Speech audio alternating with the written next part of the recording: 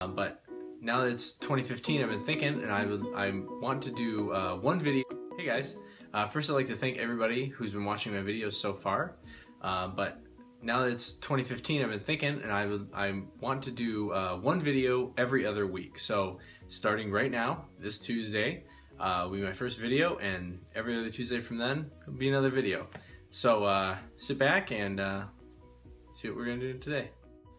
Hey guys, welcome back. Uh, so in my last video I showed you how to uh, prep your armature before you would go on to the full actual sculpting. So in that you, you uh, skin the armature with uh, green stuff. Well this week uh, we're kind of doing the same thing but I typically don't sculpt miniatures uh, only with putty now. I mainly use Fimo now. So in order to do that you do the same thing as la the last video, which I'll link right here.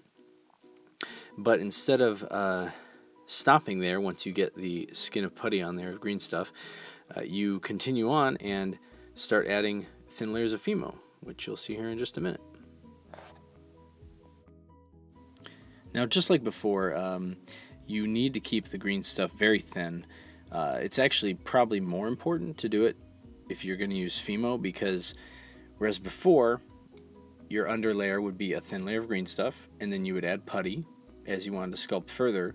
But in this case, if you're going to go with Fimo, you start with this thin layer of green stuff, and then you have to put another layer of Fimo on top. So if you if your green stuff layer is somewhat bulky, uh, it'll just get even thicker as when you put Fimo on. And and since there will be Fimo on top of the green stuff, you can't shave it down uh, as you would if it was just putty. So if you did it with just putty, you build it up. Say you got a little bit too bulky on one of the legs or, or an ankle joint or something like that. You just trim it off. It's no big deal. But with the Fimo, you need to make sure you get a nice thin layer of putty, not too much. So it's very important just to make sure you drag it all down, just get a nice, good, thin film there.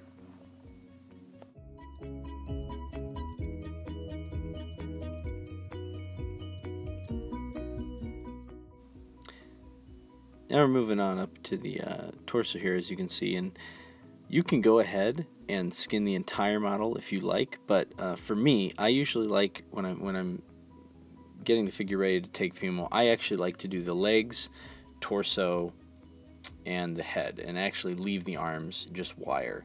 And the reason for that is uh, you can do the whole thing in one go, uh, depending how fast you go. But you know, it just I it's kind of comforting to me to know that I'm my my the putty won't have cured too much by the time I lay it down, um, and while putting the the Fimo on, because it's the tackiness of the putty, uh, and as it's curing, it'll fuse with the Fimo, and you want to make sure that that is a nice, good, stable hold.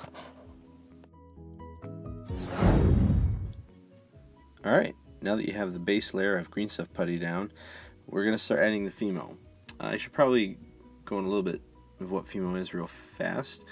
Um, it's a polymer clay. Um, a lot of people over here in the U.S. are probably familiar with Super Sculpey. Uh, it's a both of these are uh, clays that are designed to uh, be baked in your oven, so you don't need a special kiln or anything, and they're um, obviously made out of polymers instead of natural clay. So, anyways, um, Fimo is what I use, uh, specifically Fimo Classic. And I have a uh, special little blend that I make uh, to get the, gr the gray. Uh, but you can use any of them. You can use any straight out of the little blocks they sell for about three bucks. You can usually find them at Michael's or Joann Fabrics. And uh, when applying the clay to your figure, it's very important to try and lay them, it down in small, thin bits. The reason for that is um, if you end up putting too much Fimo on in the beginning, you can, it's really not about making it too bulky because you can trim a little off afterwards, although you might expose some of the underlying green stuff. But the biggest thing is that you, if you have to push large parts of uh, clay around during this point, you can actually shift the putty that's still not cured under the figure. Which reminds me, uh, yeah, when you're doing this step here, you want to put the green stuff on and you need to start applying the clay immediately afterwards. You do not want it to cure or set up.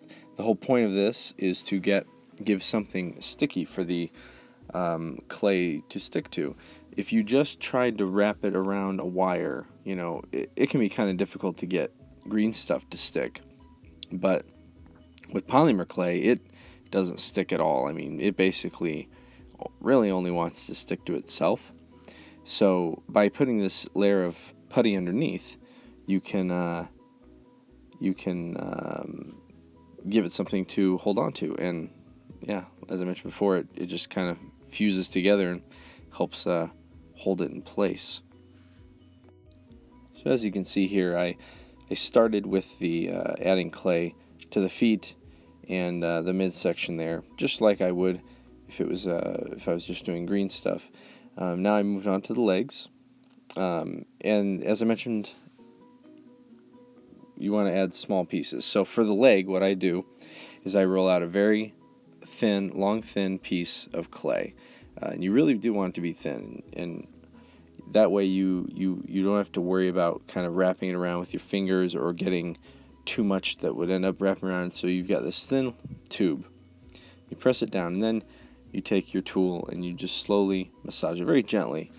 Um, and that, that will flatten it the rest of the way, giving you a little bit more to go around the limb. If you end up needing to add a little bit more, you can do that. It's very easy. Just just take a little bit of clay. It can be another small tube or just uh, a little bit you scrape off with your tool. Um, yeah.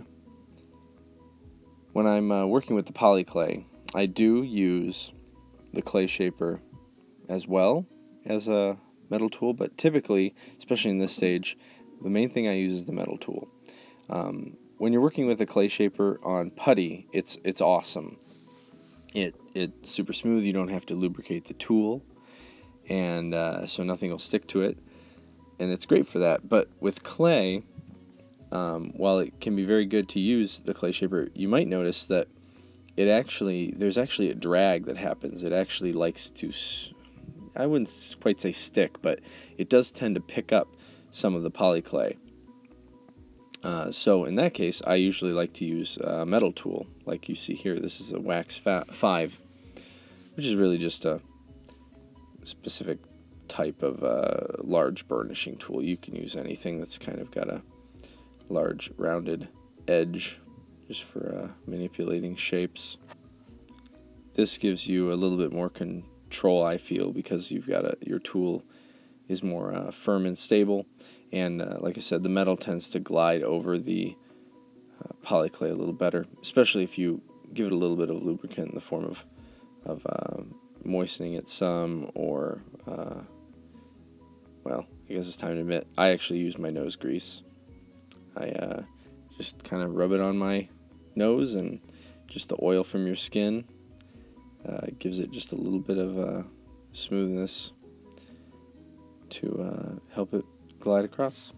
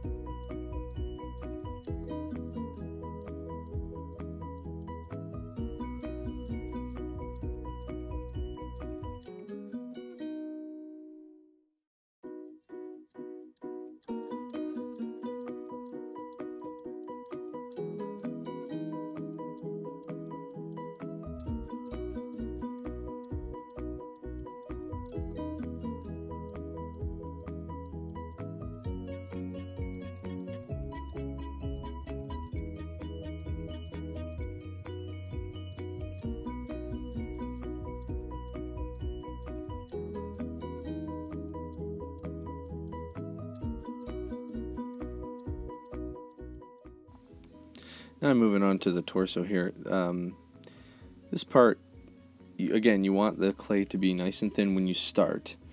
Um, you don't want to put like a, a, roll up a ball and press it and start squishing it around because, like I said, that'll move the putty underneath around.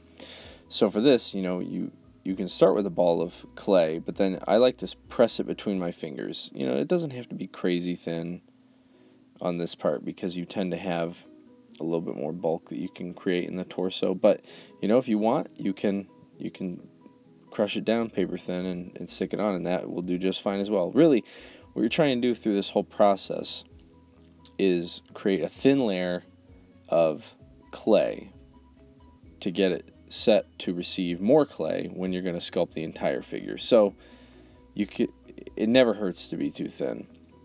You just want to make sure that the clay completely covers the green stuff. So obviously the, the flatter it is now before you put it on the figure, the uh, less smoothing and, and um, spreading out of the clay you need to do while it's on the figure.